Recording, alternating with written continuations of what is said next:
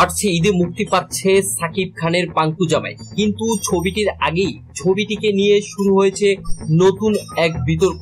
কারণ সেই ছবির পোস্টারে সাকিবের কাটা গলা ব্যবহার করা হয়েছে। জানা গেছে, চলতি বছরের এপ্রিল মাসে তামিলের একটি ছবি থেকেই এমন পোস্টারটির অংশ কেটে সাকিব খানের গলা কাটা ব্যবহার করা হয়েছে। সেই ছবিটির প্রধান চরিত্র অভিনয় করেছিলেন নানি শারীরেই সাকিব খানের গলা কেটে বসানো হয়েছে। পাঙ্কু জামাই ছবিটির সাকিব খানের অপু বিশ্বাসের সাথে জুটি বেঁধে করা সর্বশেষ ছবি।